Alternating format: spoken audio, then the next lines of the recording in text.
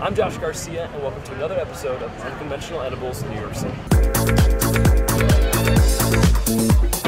I'm in the heart of New York City's Chinatown, restaurant 456, known for its super delicious and ultra authentic Shanghai Chinese cuisine. But I've always wanted to venture into some of their more unusual dishes, and now's my chance. I recommend that Americans, they, they don't like it. You're recommending to me what Americans Uh, don't yeah, like, huh? Yeah, never. Okay, what What is is that? I'm It's interested. the sea, cu- sea cucumber. Sea cucumber, yeah. I want And to the- try that. Yeah, and the jellyfish.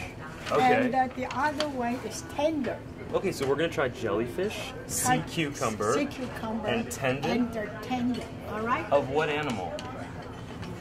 Pork, cow, pork. tendon? I have not tried pork tendon before. Never. I'm gonna like it. Watch, I'll be the American Okay, that okay, likes it. okay. Let's go do it. Hey guys!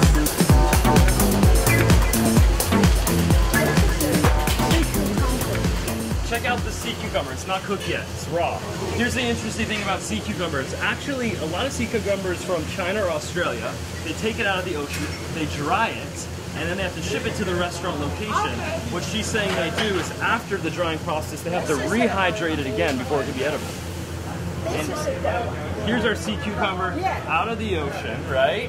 Dried, and then rehydrated. It looks like this here. This is like And the sea. 20 times the size, right? Yes. Ready? I'm gonna try the sea cucumber out. It looks a little unappealing. I'd say most Americans would pass this dish up, but not me. Flavored with soy sauce, ginger, scallion, salt.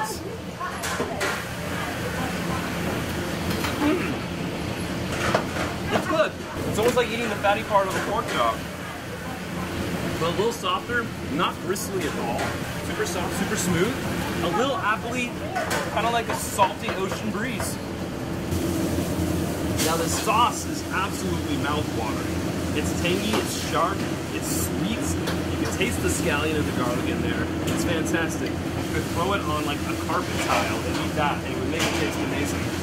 Sea cucumber by nature is a little uneventful in itself, which is why I think they top it with such a delicious sauce. What is this? What are you making now? Ginger, scallion, Oh, this is the sauce. tendon. Yeah, the pork tendon.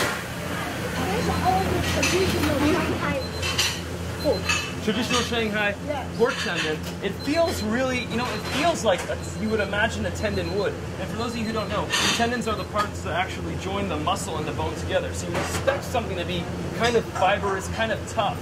But I know what they do is they actually boil it in water for a long time, breaks it down, gives it a nice gelatinous, softer feel, and uh, it winds up looking like fat, but it's actually 99% fat free.